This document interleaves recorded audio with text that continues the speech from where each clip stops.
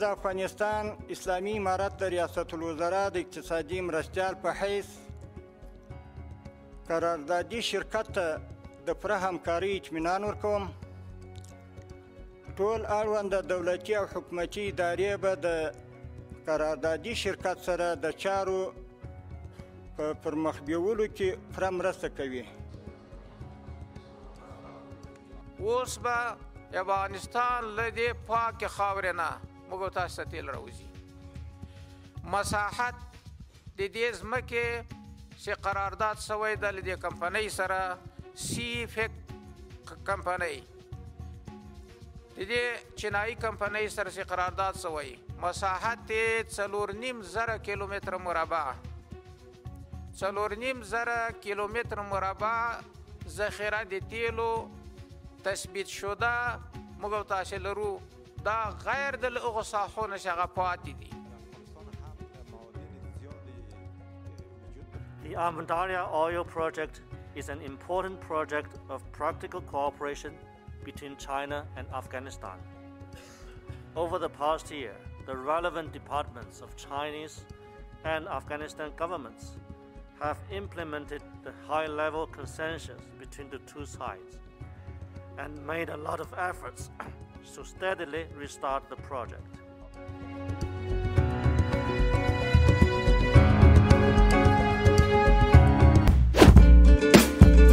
You're talking about the South China Sea it has long been a, a sticking point in bilateral relations, but you said repeatedly that they should not define our relationship. Um, what is the latest regarding bilateral consultation on maritime disputes? Well, right now we have these const- we constantly have a, a, a, uh, um, a communication, but it is not so formalized. And that's perhaps one of the things that I would like to propose in this trip to your president. I intend to propose to bring it to a higher level so both sides have a direct conversation and a direct link to their presidents, my officials to, my, to me, and Chinese officials to the president, President Xi. And that way, we do not, we can avoid any possible misunderstandings, any possible mistakes. Uh, it is uh, to make sure that uh, uh, not, not to aggravate the situation, but to calm things down. Yeah, both sides expressed a willingness to jointly explore uh, maritime resources such as natural gas and oil. But the devil is in the details, right, Mr. It's all- yeah. Uh, it's all in the details, and uh, there were sticking points too. Um, any progress regarding maritime joint exploration on natural gas and oil, perhaps? We are moving forward. We, we continue to, to explore what other, what other arrangements can be made. Uh, the sticking point came uh, simply because of the application of law, which law, Philippine law or Chinese law will apply uh, in the area where we are doing the exploring. I, I, I hope that that can be overcome and we can find, uh, we can find another way so we can continue to explore uh, the natural resources in the South China Sea uh, together or singly or in uh, whatever other arrangement. But it's very important, especially for the Philippines, um, because we are now um, trying to move our energy mix from traditional sources to renewables. And uh, the interim to that is probably going to be natural gas. Talking about geopolitics, Mr. President, um, there have been a number of Washington led initiatives which Beijing considers thinly veiled China containment institutions, such as IPEF on the economic side and AUKUS and Quad on the security side. Uh, how necessary do you consider these institutions in this day and age? Well, uh, it's, uh, I guess, a response uh, from the Americans for what they see. Uh, the Philippines, uh, again, has a very simple foreign policy. It's a foreign policy that, commit, that commits itself to peace and that is uh, guided by the national interest.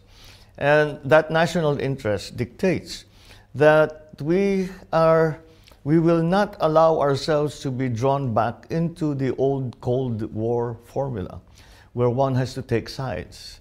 The only side I'm on is Philippine side. Fair So, enough. very, very simple, and uh, and I think that's a, that that that is a good guide. There's a very famous African saying that when the elephants fight, The only one that the only one that loses is the grass. We might be the grass. We do not want to be in that position.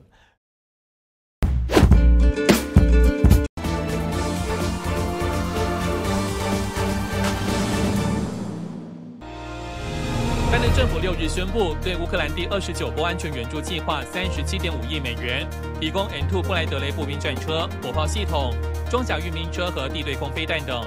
此外，这波援助也包含补充支持乌克兰的欧洲盟国军火库。这是美国首次提供被称为“坦克杀手”的布莱德雷步兵战车给乌克兰。克里姆林宫五日表示，俄罗斯总统普京已下令俄国军队于东正教耶诞节期间在乌克兰停火三十六小时。但乌方指控，俄罗斯六日两度用火箭弹袭击乌东克拉莫托斯克市，一名宅被击中。捷星航空七日一架从东京成田机场飞往佛冈的班机收到炸弹威胁，紧急降落中部国际机场。机上一百四十二名乘客和机组员全部就地疏散，有五人在下机时受到轻伤。所幸调查人员没有在机上发现炸药。全球第二大航空公司美国达美航空宣布，从二月一日起，旗下航班将陆续免费提供 WiFi，之后陆续拓展服务范围，到二零二四年底前，全球达美航班将免费提供 WiFi 服务。新航亚太电视整理报道。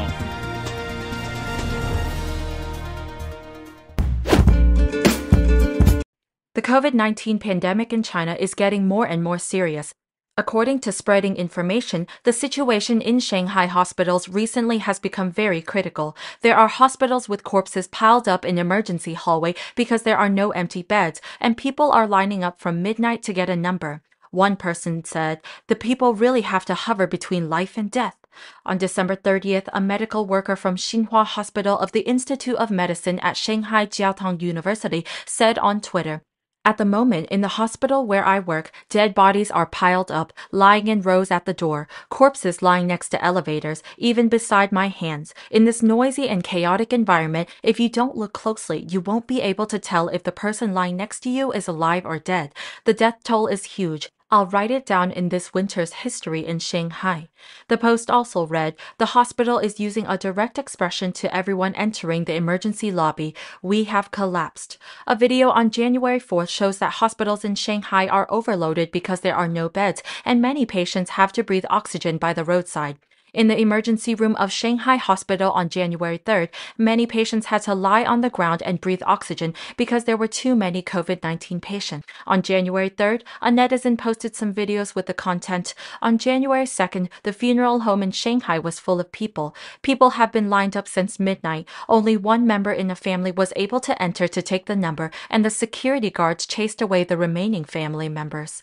In the video, it seems that security guards are blocking people and many people are waiting in long lines. In the article, there is a screenshot with the content. The people really have to hover between life and death. Even the cremation has to wait for many days. In funeral homes and hospitals, there are so many dead bodies that there is no place to store them, only at home. When the patient's condition is critical, calling ambulance number 120 still has to wait for more than 10 hours. On December 26, a netizen posted a video that read, At the funeral home in Zebioxin Road, Shanghai, the current scene is so tragic. In another video, many people are waiting in long lines. In this regard, the Vision Times quoted some netizens' comments. Communist bandits have pushed us Chinese to the edge. From life to death, we are all in a miserable state. If the CCP continues to rule China, where will the fate of the people go? Good or bad, you have to see it. Another said the deceased family members have to line up at midnight to go get the number. Even the road to death is limited edition. According to Sohu, on January 4th, out of 30 subvariants of Omicron in Shanghai, the recently discovered BQ1 and XBB subvariants accounted for more than a third of the infections. XBB 1.5 is more contagious. Of the 25 families where XBB was detected in Shanghai this time, three cases are XBB 1.5. The latest research shows that XBB 1.5 is more likely to spread from person to person.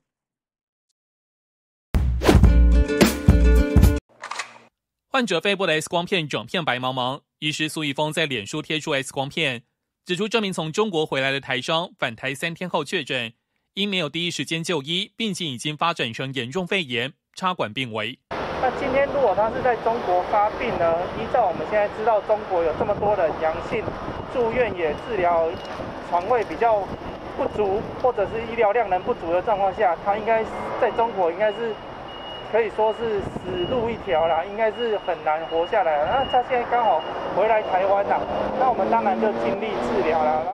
中国疫情相当严峻，因为严重肺炎的患者快速增加，医疗量能已经不足。